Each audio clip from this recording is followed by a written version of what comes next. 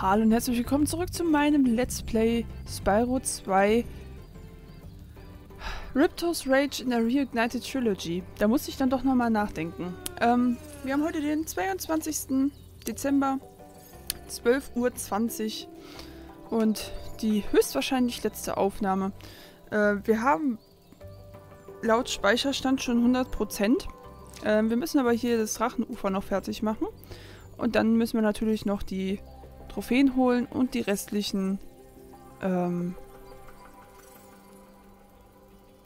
ja, genau, die restlichen Stilpunkte. Aber wir quatschen erstmal mit ihm hier. Gut gemacht, Spyro. Hereinspaziert in den Drachenuferpark.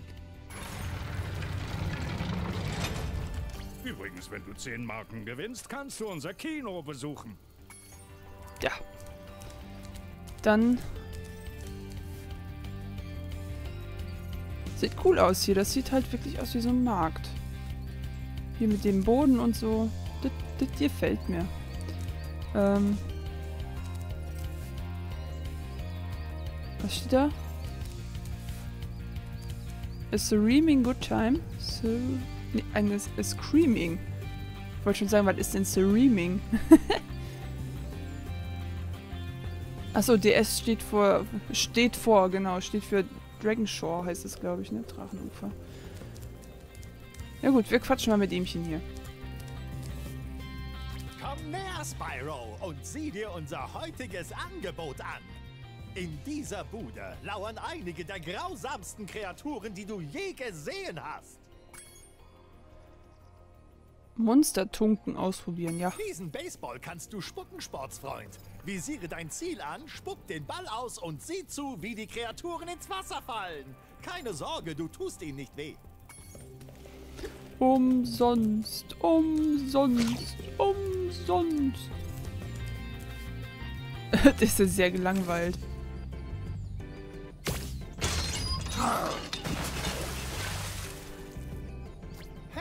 Das war doch lustig, oder? Diese Marke ist deine Belohnung dafür.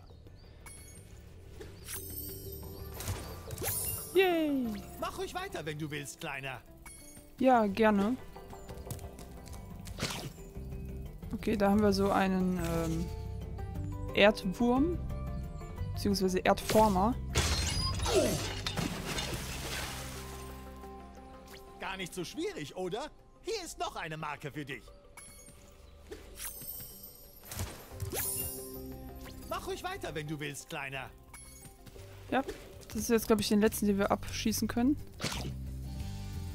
Genau, der olle Typ mit seiner Triangel.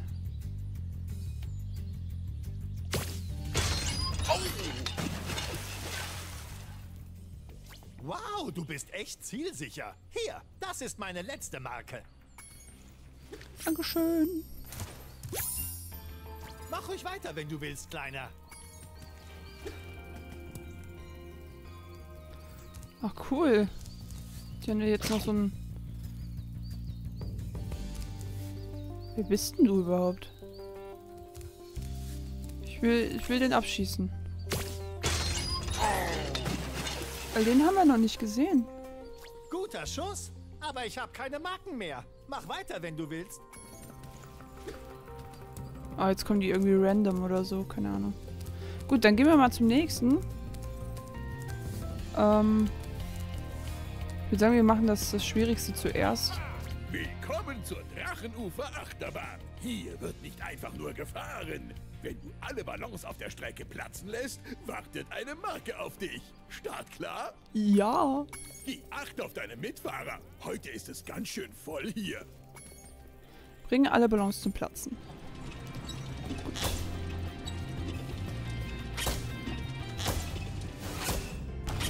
Das sieht ja noch ganz angenehm aus hier. Ist ja auch nur die erste Runde.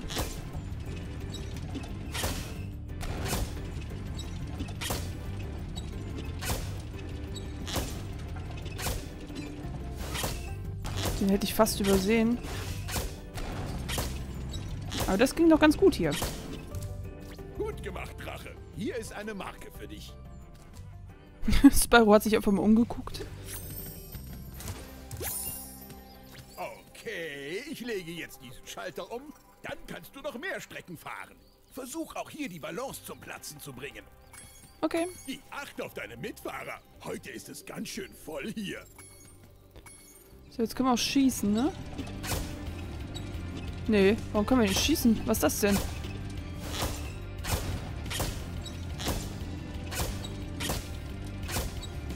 Oder ist das, gibt's hier auch drei Runden?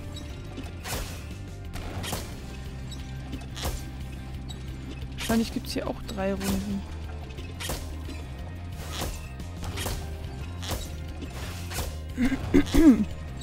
Ich bin ein bisschen erkältet. Ein, also noch nicht richtig, aber ich merke schon, mein Hals ist mega trocken.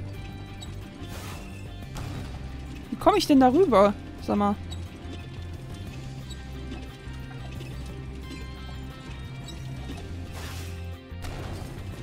Schön.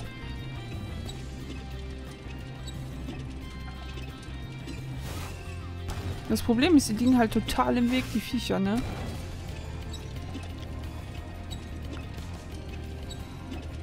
Also mit nach links drücken habe ich sie jetzt schon ausprobiert. Das geht nicht. Mit Quadrat geht es auch nicht.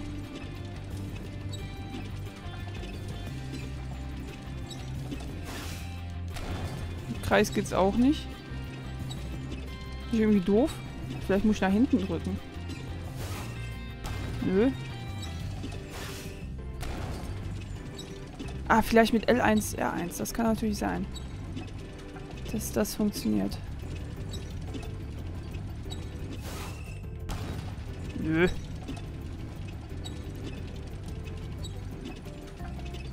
L2. Nö.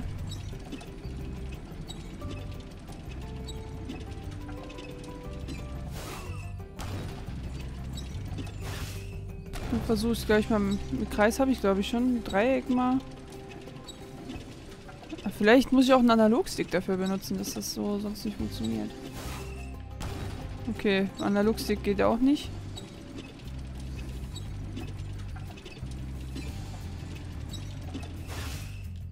Drei geht auch nicht. Äh, jetzt ist aber langsam, ist, äh...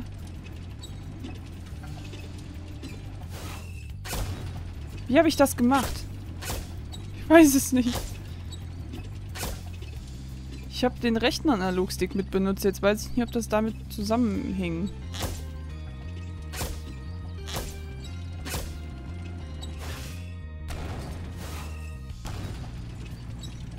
Ich probiere es einfach nochmal gleich genauso, wie ich es jetzt gerade probiert habe. Mit dem rechten Analogstick. Hat schon wieder funktioniert. Wow. Vielleicht hängt das wirklich damit zusammen.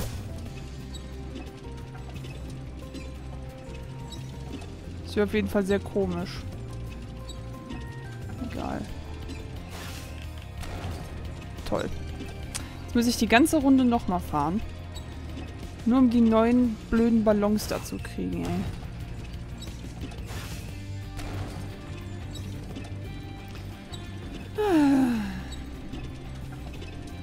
Gibt's denn echt noch eine Runde?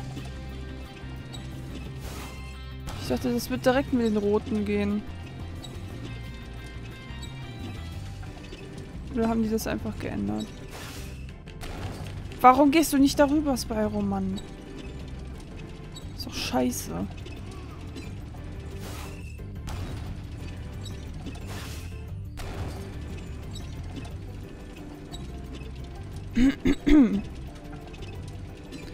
Ja, ja.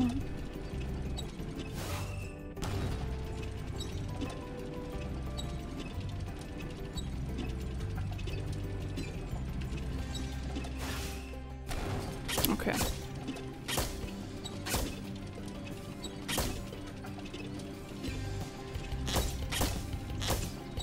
Beach.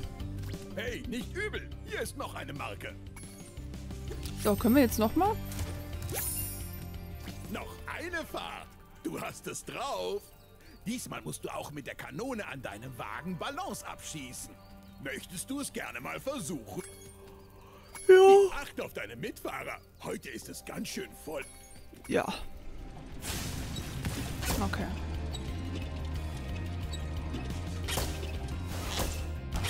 Okay, man muss einfach nur anscheinend lange vorher gedrückt halten. Dann geht das auch. Also, es hat wirklich nichts damit zu tun. Ich meine, im Original hätte man... Oh, das ging daneben. Ich meine, im Original hätte man ähm, im richtigen Moment drücken müssen. Guck mal, ob ich den roten von hier aus krieg.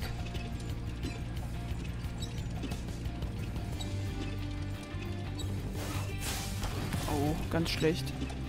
Dann machen wir die weit normale Runde weiter.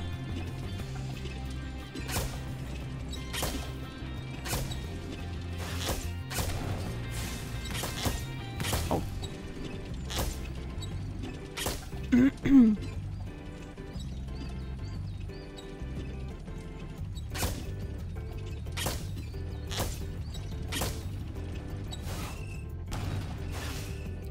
Nochmal.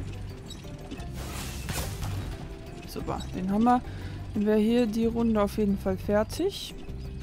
Ist, der Looping gefällt mir auch sehr schön. Das ist wie so ein Meeresmonster-Tier-Ding.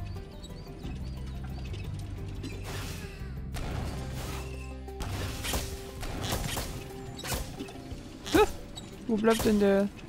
Ist weg. Einer fehlt uns. Das ist jetzt der eine, der da an der Ecke ist, den ich nicht gekriegt habe. Müsste jetzt, glaube ich, kommen. Ja. Nice. Wow, du bist ein Naturtalent. Der Held der Achterbahn. Hier, meine letzte Marke. Du bist ein Naturtalent. Und dann so, oh, ich habe keinen Bock auf dein Gelaber.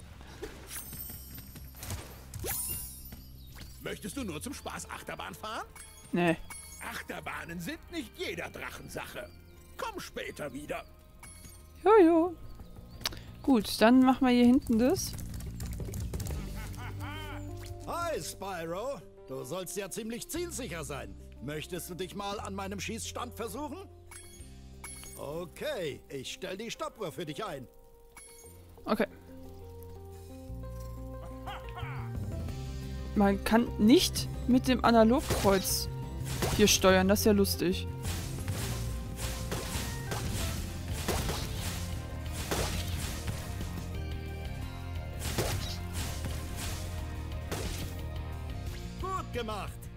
Hast du eine Marke.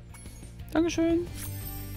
Der hat einen schönen Stab. Der gefällt mir. Bereit für die nächste Runde? Okay, ich stell die Stoppuhr für dich ein. Okay.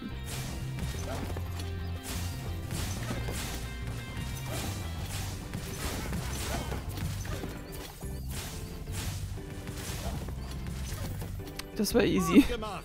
Hier hast du eine Marke. So. Jetzt noch einen hier. Bereit für die nächste Runde? Ja. Okay, ich stell die Stoppuhr für dich ein. Dann brauchen wir ja nur einmal... Einmal mit der Dings da fahren, ne?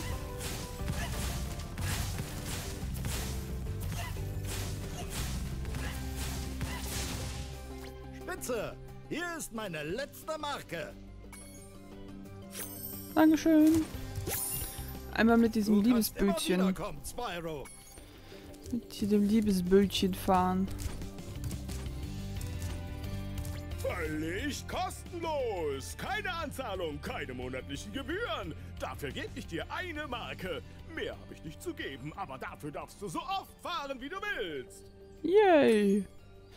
Ja, Steig ein, mein Freund.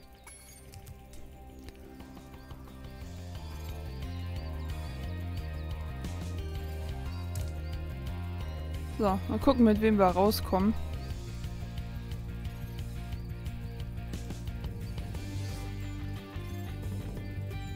Na?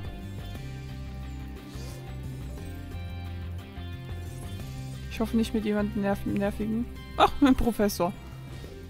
Süß. Hier ist ist deine Marke. Wie versprochen, wenn du zehn Stück hast, kannst du das Drachenufer-Kino besuchen. Yay! Und wir können jetzt ins Drachenufer-Kino, welches hier ist. Aber hier gibt es noch einen Typen, der was dazu erzählt. Hey Spyro, heute ist ein Glückstag. Du hast genügend Marken gewonnen, um das berühmte Drachenufer-Kino zu besuchen. Ich wünsche dir viel Spaß. Dankeschön. So, hier müssten jetzt eigentlich nur die Zwischensequenzen drin sein. Ja. Genau. Machen wir aber nicht. Ähm, wir schauen jetzt nämlich uns mal die Trophäen an. Welche uns noch fehlen. Und zwar zünde in 15 Sekunden 6 Edelsteinlampen an. Das ist in Glimmer. Stürme in Kolosse gegen eine Ziege. Haben wir das nicht gemacht? Naja. Kriegen wir auch noch hin. Besiege alle Käfer in einem Superflug. Alle Käfer in einem Superflug. Wo ist das denn? Ähm, berühre in Skelos-Einöde nicht die Lava. Das ist einfach. Benutze eine Kanone, um eine TNT-Werfer zu besiegen. Was ist das denn? Nutze eine Kanone. Ach so, okay. Da muss ich mal gucken, wo, wo gab es denn TNT-Werfer?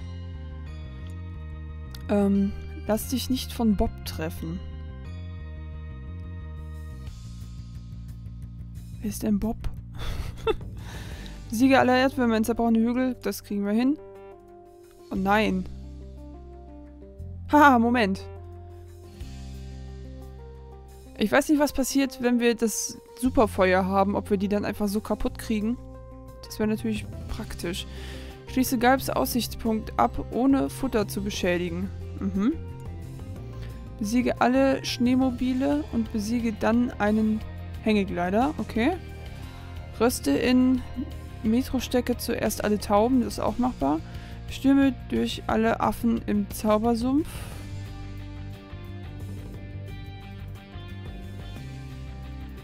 Sind das die, die die Wumperfrüchte schmeißen?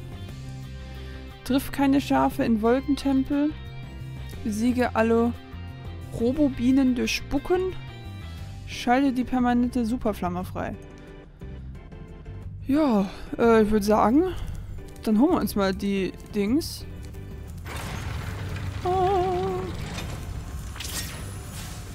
Oh, sehen wir jetzt für immer so aus? Geil. Gut. Oh nö, jetzt schon wieder weg. Aber wir haben noch die Superflamme. Gut, dann, ähm, obwohl, können, können wir reisen? Nee. Warum nicht? Das ist schade.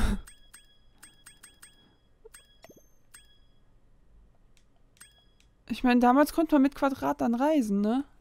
Naja. Gut, dann gehen wir in die Wintertundra und fangen dann ähm, am Anfang an, würde ich sagen. Oh, also im Sommerwald, natürlich. Ähm, müssen wir uns dann immer mal wieder die Trophäen angucken. Also wer jetzt äh, kein Interesse mehr an Trophäen hat,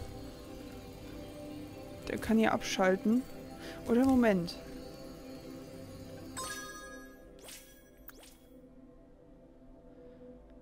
Ähm, wir bekämpfen nochmal Ripto. Dann mache ich nämlich erst die Fähigkeitspunkten fertig. Punkten. Punkte fertig. Ähm, dann können wir uns noch schnell die Sachen angucken, die wir dann freischalten. Ähm Und dann kümmern wir uns um die Trophäen. Weil dann können wirklich die Leute, die sich nicht mehr für die Trophäen ähm, interessieren, können dann abschalten oder so.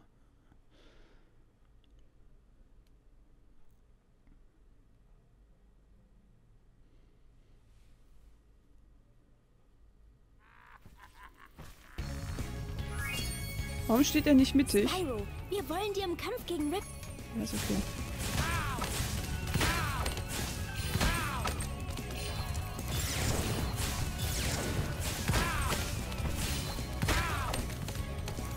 Hat er mich getroffen? Nee, ne?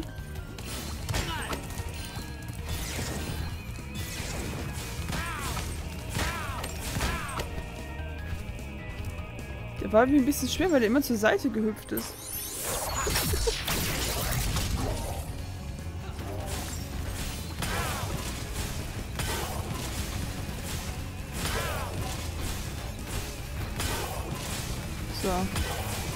Jetzt ist mal langsam gut hier.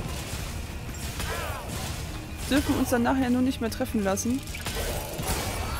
Ähm, wenn wir mit dem Viech fliegen.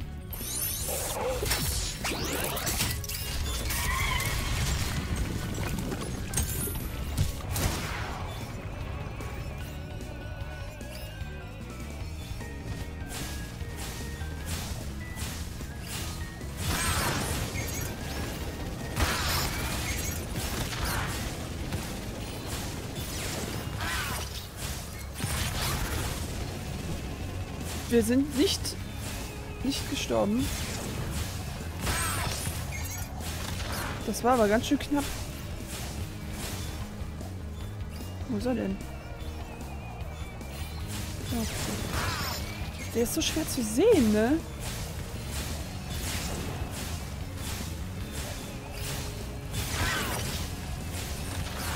Wow! Heilige Scheiße.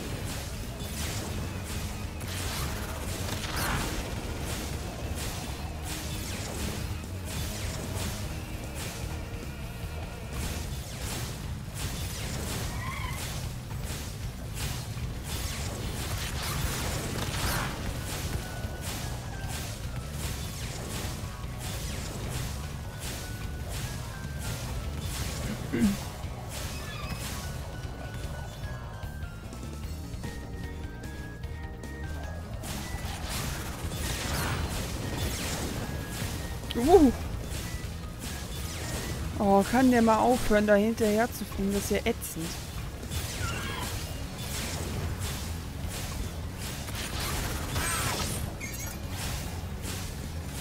Wo ist er hin? Da. Super.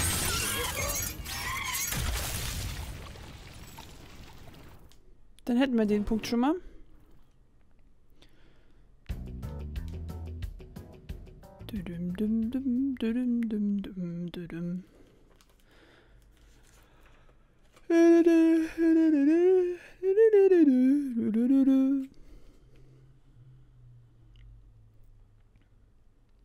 So, jetzt, ähm, ich werde das jetzt einfach rausschneiden und wir sehen uns in der äh, Galb-Arena wieder. So, wir sind jetzt hier in der Arena von Galb. Ähm, Vielleicht kriegen wir sogar noch die Trophäe dafür, dass wir hier keinen Schäfchen Schaden zufügen.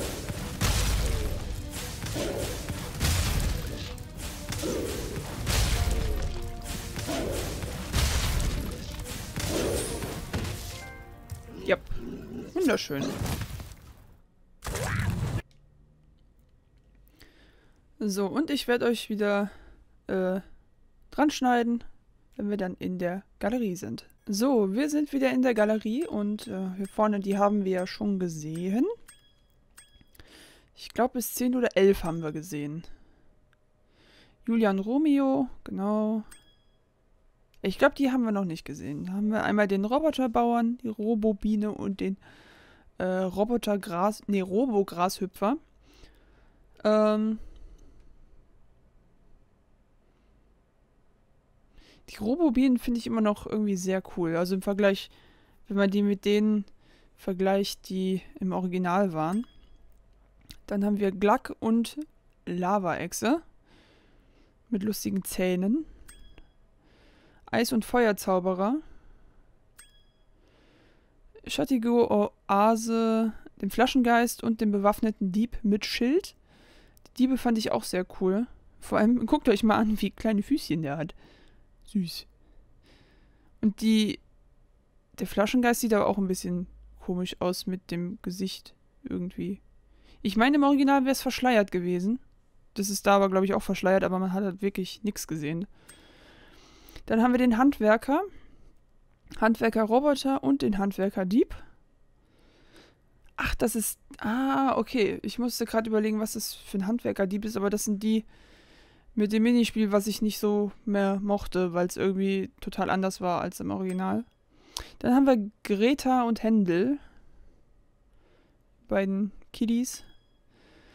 Äh, gepanzerte Weltraumkuh, das Schaf-UFO, Raketenschwein und Manager-Droid. Ja, genau, die Druiden, die, die mochte ich ganz gerne und die Schweine haben auch ganz lustig geguckt. Und die Kühe waren sowieso mega. Wobei der hat kein Euter, der Kuh. Ich meine, im Original hätten die Euter gehabt. Ähm, Wasserschwein, Auto. Was ist das denn für ein Name? Wasserschweinboot und Schluchtenstreckenbiker. Das sind auf jeden Fall die Fuzis von den, ähm, von den Rennstrecken. Dann haben wir noch Galb und den Pterodactylus. Das sind die, die, also Galb Arena und halt die Fuzis, die uns da die Eier runtergeschmissen haben. Und dann hätten wir noch Crush und Ripto. Ripto sieht ein bisschen aus, als ob er auf Klo müsste oder so. Oder ob er irgendwelche Krämpfe hat. ja, das wäre jetzt die Kunstgalerie. Ähm, ja, wer jetzt keine Lust hat, mehr zuzugucken, wie ich die Trophäen hole, der könnte dann im letzten Part gucken, also wenn er Lust hat, was mein Resümee zum Spiel ist. Aber wir begeben uns jetzt erstmal in den Sonnenwald. Und da werden wir uns dann bei dem Sommerwald, Entschuldigung, nicht Sonnenwald. Da werden wir uns dann bei dem Level wiedersehen, wo wir dann die erste Trophäe holen können, die uns noch fehlt.